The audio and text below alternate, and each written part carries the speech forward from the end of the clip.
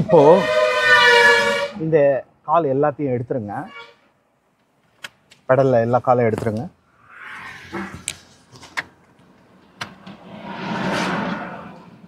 வலது பக்கம் இருக்கு இல்லையா? லாஸ்ட் இது ஆக்சலேட்டர் அதுக்கு பக்கத்தில் இருக்கிறது பிரேக் இந்த ரெண்டு பெடலுமே ரைட் லெக்கில் மட்டும்தான் யூஸ் பண்ணணும். லெஃப்ட் லெக்கில் ஒன்லி கிளச் கிட்டத்தட்ட சேம் அதே தான் டூ வீலர் மாதிரி தான் டூ வீலரில் பார்த்தீங்கன்னா ரைட் ஹேண்டில் ஆக்சிலேட்டரு ரைட் லெக்கில் பிரேக்கு அண்டு ஃப்ரண்ட் பிரேக் ரெண்டுமே ரைட்டில் தான் வரும். கிளச்சு மட்டும்தான் லெஃப்ட்டு கையில் வரும். இதில் லெஃப்ட் காலில் யூஸ் பண்ணுவோம் ஓகேங்களா ரைட் கிளச்சை ஃபுல்லாக அரெஸ்ட் பண்ணுங்கள் ஒவ்வொரு தடவை அழுத்தும் போது வேகமாக எடுக்கும்போது கீருக்கு தகுந்த மாதிரி. ஃபஸ்ட்டு செகண்டுக்கு ஸ்லோவாக எடுக்கணும். தேர்டு ஃபோர்த்துக்கு கொஞ்சம் வேகமாக எடுத்துக்கலாம். நீங்கள் என்ன வேகம் போகிறீங்களோ அதுக்கு தகுந்த மாதிரி ரிலீஸ் பண்ணால் போதும். ஓகே? அப்படியே பிடிச்சிங்க இப்போ நான் ஃபஸ்ட் கியரை போட்டுட்டேன். மூவிங் பாயிண்ட்டை நீங்கள் கிளச்சில் மட்டும் கவனிச்சா போதும். லாங் ஃபோக்கஸ் ஒரு வைப்ரேஷன் வரும். அதை நல்லா ஃபோக்கஸ் பண்ணுங்கள்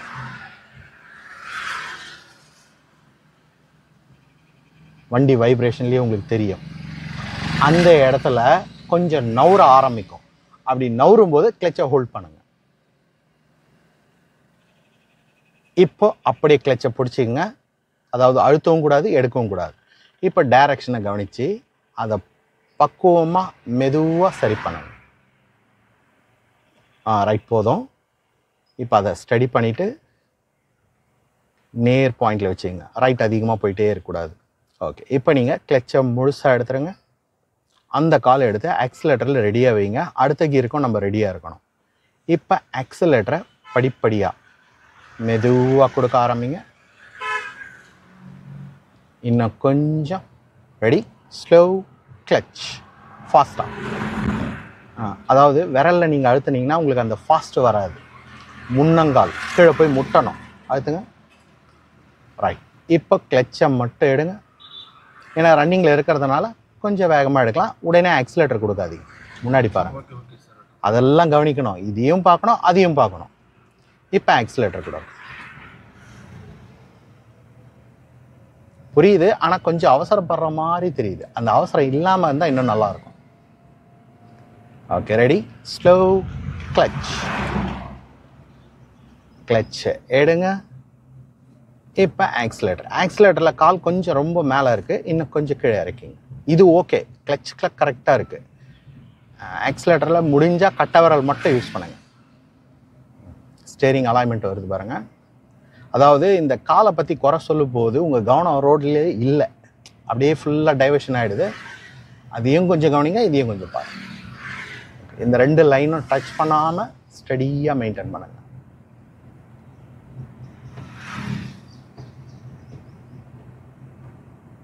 இன்னும் கொஞ்சம்.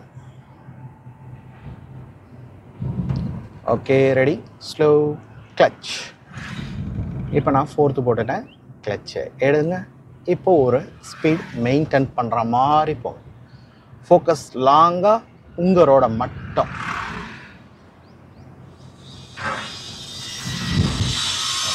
கொஞ்சம் கண்ட்ரோல் உங்கள் ஸ்பீடு உங்கள் கண்ட்ரோலில் இருக்கிற மாதிரி வச்சு இன்னும் கொஞ்சம் குறைவா. ஹாஷான ஸ்பீடு வேண்டாம்.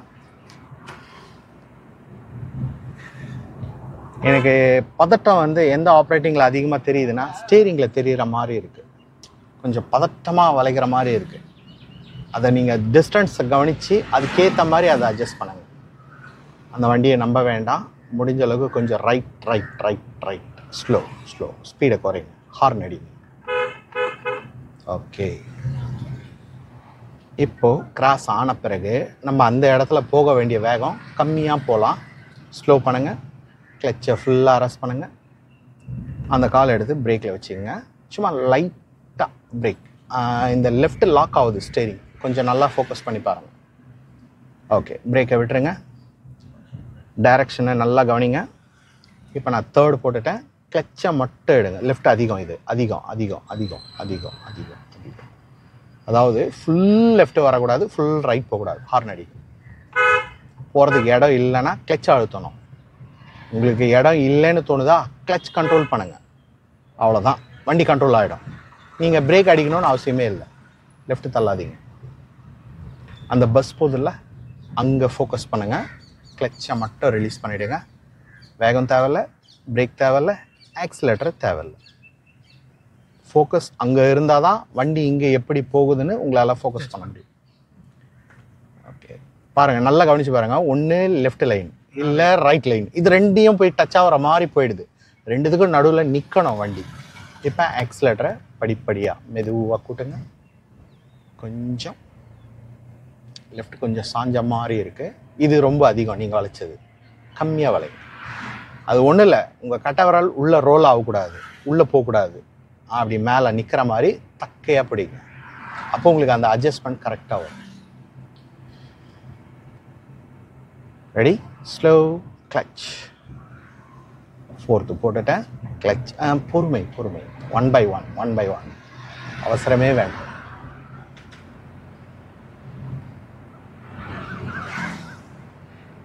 ஓகே சென்டர் அதாவது ரெண்டு லைனும் டச் ஆகுதா இல்லையான்னு நீங்கள் மிரரை செக் பண்ணீங்கன்னா தெரியும். ரெண்டு லைனுக்கும் ஒரு கேப் இருக்கணும். ரைட் சைட்லேயும் கேப் இருக்கணும் லெஃப்ட் சைட்லேயும் கேப் இருக்கணும். அதை மெயின்டைன் பண்ணுற மாதிரி இருக்கும் முடிஞ்சா ஸ்பீடை கொஞ்சம் குறைவா? ஹார்ஷான ஸ்பீட் இல்லாமல் ஒரு மீடியமாக அழுத்துங்க. அந்த ஸ்பீடை அப்படியே பேலன்ஸ் பண்ணுங்க. ஓகே லெஃப்டில் ஒரு க்ரீன் கலர் போர்டு இருக்குல்ல அந்த இடத்துல வண்டியை நம்ம ஸ்டாப் பண்ண போகிறோம் ஸ்லோ பண்ணி கிளச்சை முதல்ல அரெஸ்ட் பண்ணிங்க. ஃபுல்லாக அழுத்திட்டு மெதுவாக லெஃப்ட் எடுத்துகிட்டு வாங்க. பிரேக்கில் ரெடியாக கால் வச்சுக்கலாம் அழுத்த வேண்டாம். வந்து இந்த லைன் இருக்குல்ல இந்த லைனு உங்கள் ஸ்டேரிங்க்கு நேராக வந்துச்சுன்னா கரெக்டான ஓரம் வந்துச்சுன்னு அர்த்தம். நல்ல லாங்காக பாருங்கள் இந்த டைமில் ஸ்டேரிங்களோட அழுத்தத்தை குறைச்சிங்க இப்போ பிரேக் ஸ்மூத்தாக சாஃப்டாக நின்ன பிறகு பிரேக் எடுக்கக்கூடாது. பிரேக் நீங்கள் பிடிக்கலாம். ஏன்னா டவுனில் இருக்குது பின்னாடி. பிரேக்கை அப்படியே பிடிச்சிக்கணும். கிளச்சை எடுக்கிறதுக்கு முன்னாடி கியரை நியூட்ரல் பண்ணிக்கலாம். நியூட்ரல் ஆன பிறகு கிளச்சை விடுங்க. ஆ ஃபுல்லாக விட்டுடலாம் அதுக்கப்புறம் பிரேக் எடுக்கும்போது வண்டி நவுறுதான்னு கவனிக்கணும். அப்படி நவுந்தா ஹேண்ட் பிரேக்கை யூஸ் பண்ணிவிட்டு இப்போ பிரேக் எடுத்துருங்க.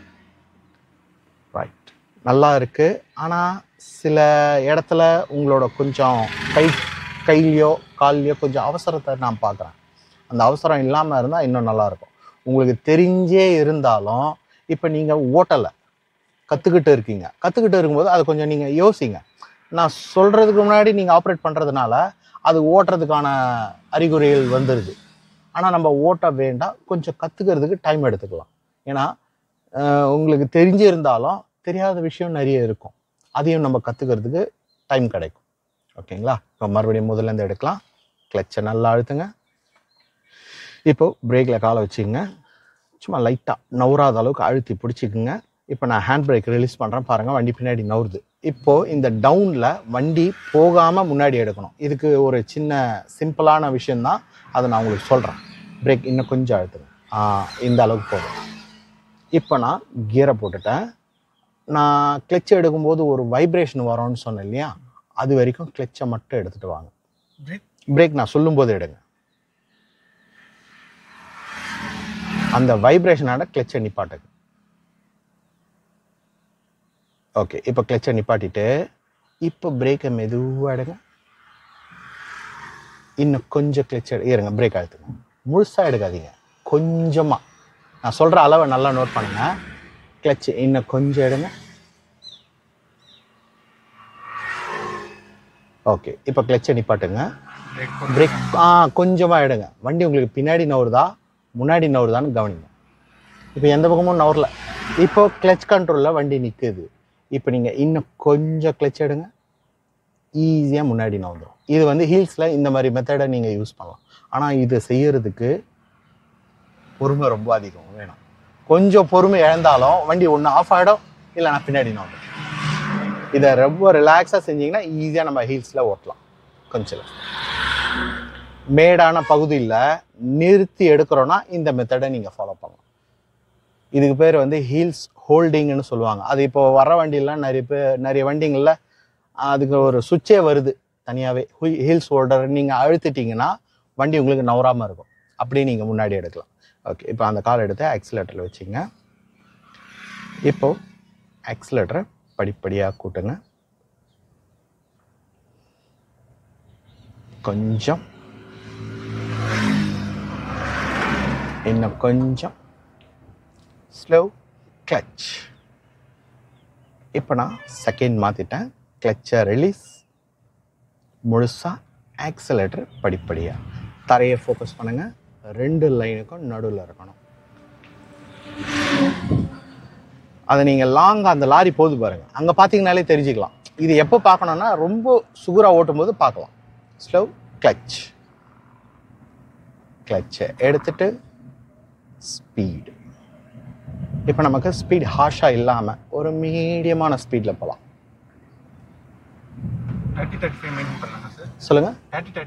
பண்ணலாமா ஆ மெயின்டைன் பண்ணலாம். ஆனால் அது வந்து ரோடுக்கு ஏற்ற மாதிரி மாறும்.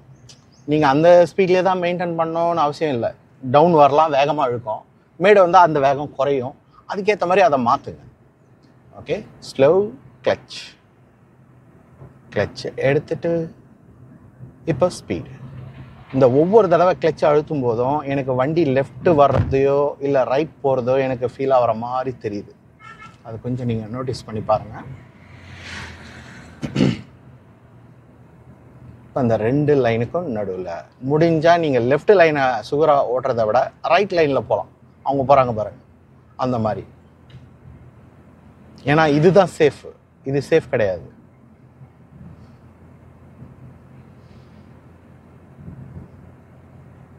ஓகே. இப்போ மேடு ஏறி மறுபடியும் டவுன் வருது பாருங்க. அதுக்கேற்ற மாதிரி ஸ்பீடை நீங்கள் மாற்றிக்கணும் இருக்கணும் வேகம் இருக்கணும் லைட்டாக இருக்கணும். ஓகே. இப்போ ஸ்பீடு வந்து இன்னும் கொஞ்சம் குறைவா? எனக்கு வண்டி அலா ஆய்ஞ்சிட்டே போகிற மாதிரி எனக்கு ஃபீல் ஆகுது. இந்த பக்கம் அந்த பக்கம். இந்த பக்கம் அந்த பக்கம். அப்படி தான் போயிட்டு இருக்கே தவிர நேராக நிற்கிற மாதிரி தெரில அதுக்கு காரணம் உங்கள் ரோடை அதாவது எம்டி ரோடை விட்டுட்டு அதிகமாக நீங்கள் வண்டிங்களை பார்க்குறீங்களோ அது அப்படி பார்த்தா அந்த மாதிரி ஆகும். உங்கள் ரோடை பாருங்கள் உங்களுக்கான இடத்த மட்டும் நீங்கள் ஃபோக்கஸ் பண்ணுங்கள் ஓகே இப்போ நம்ம வண்டியை ஸ்டாப் பண்ண போகிறோம் ஸ்லோ பண்ணி கிளச்சை ஃபுல்லாக அரெஸ்ட் பண்ணுங்கள் உடனே லெஃப்ட் வராதிங்க. முதல்ல இந்த வேலையை செய்யுங்க. கிளச் ஃபுல்லாக அழுத்திட்டு அதுக்கப்புறம் அந்த காலை எடுத்து பிரேக்கில் வச்சுக்கோங்க அழுத்த வேண்டும். இப்போ மெதுவாக லெஃப்ட் வாங்க. டைம் நிறைய எடுங்க. இது ரொம்ப ஹாஷ் கம்மியாக வரணும். படிப்படியாக வந்தால் தான் லெஃப்டோட எண்டு வரைக்கும் நம்மளால் வரதை கவனிக்க முடியும். இப்போ பிரேக் கொஞ்சம் அழுத்துங்க. அந்த அளவை அப்படியே மெயின்டைன் பண்ணுங்க. இன்னும் கொஞ்சம் அழுத்துங்க. ஆ அவ்வளோதான் அவ்வளோதான் சுத்தமாக நின்ன பிறகு எந்த காலம் எடுக்காதீங்க. முதல்ல நியூட்ரல் அதுக்கப்புறம் கிளச்சை விடணும். ஃபைனலாக பிரேக்கை விடணும். மட்டமாக இருந்தால் முன்னாடியும் பின்னாடியும் நவராது.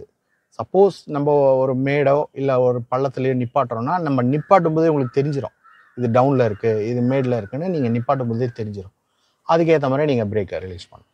ஓகே இதில் வேறு ஏதாவது டவுட் இருக்கா? அதாவது நேற்று ஃபஸ்ட்டு டே இன்னைக்கு செகண்ட் டே கிளச் எல்லாம் நல்லா கண்ட்ரோல் பண்ணிங்க. ஆனால் இந்த கிளச்சு இன்னைக்கு ஃபஸ்ட்டு நாளுன்றதுனால கூட கட் நம்ம புதுசாக கற்றுக்குறோம் அப்படின்றதுனால கூட இதையும் பார்க்கணும் ஸ்டேரிங்கையும் பார்க்கணுன்றதுனால ஒரு கன்ஃபியூஷன் வரலாம். அதனால் அது ஒன்றும் ப்ராப்ளம் இல்லை. நீங்கள் முக்கியத்துவம் ஸ்டேரிங்க்கு அதிகமாக கொடுங்க. கிளச்சுக்கு தேவையில்ல.